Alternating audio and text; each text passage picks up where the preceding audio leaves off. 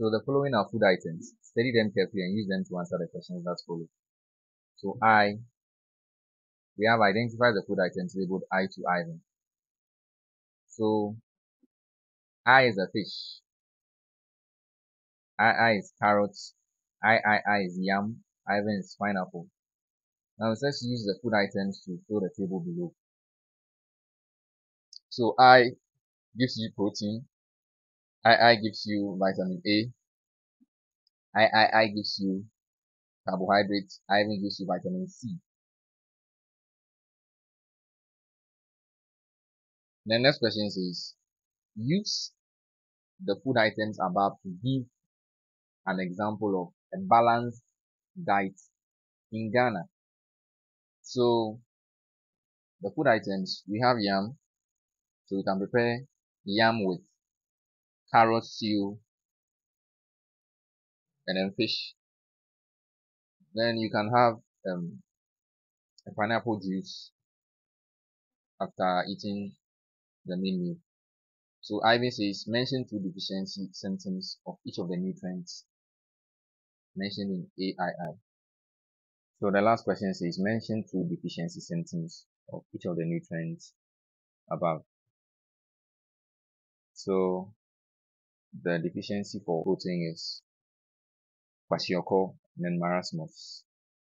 Then for carrots, which gives you vitamin A, is night blindness, and then xerophthalmia has to do with abnormality on the cornea. Then lack of carbohydrate will lead to hypoglycemia and also fatigue or dizziness. And lack of vitamin C will lead to scurvy and also slow wound healing. So let's study the diagram below and answer the questions. So we have I to IX and we're expected to name all the parts. So I is the mouth, I, is the esophagus, I, is the stomach, I vein is the liver, vein is the gallbladder, vein I is the pancreas, vein I, I is the large intestine, vein I, I is the small intestine, Then I, I, I is the large intestine, IX is the rectum, X is the anus.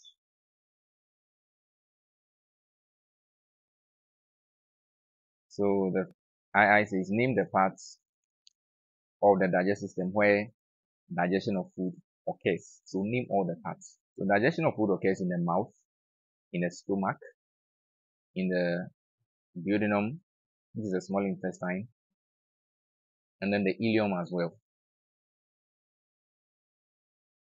Then the B says where digested food is absorbed into the bloodstream.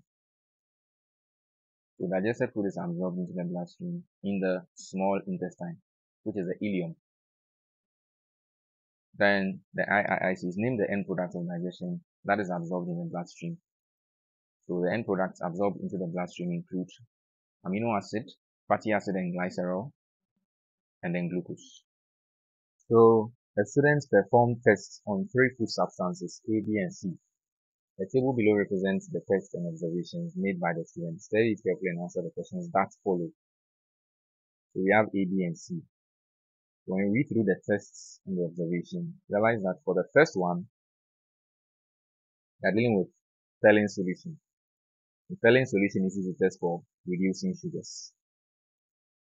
So we are already answering the I. Then the B, which is iodine, is used to test for starch. Then C, which has some to do with testing with a Millon reagent, is used to test for protein. And the II says, name one source each of the food substances A, B, and C. So A, one source is banana, which is for the reducing sugar. Then the B, which is a starch, is cassava. C, which is protein, is fish. The importance of the food substances to the body. So A, which is banana, banana is a good source of energy.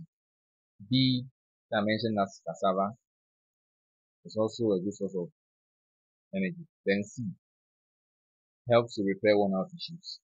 So I Ivan says, what happens to a person who lacks vitamin C in a diet?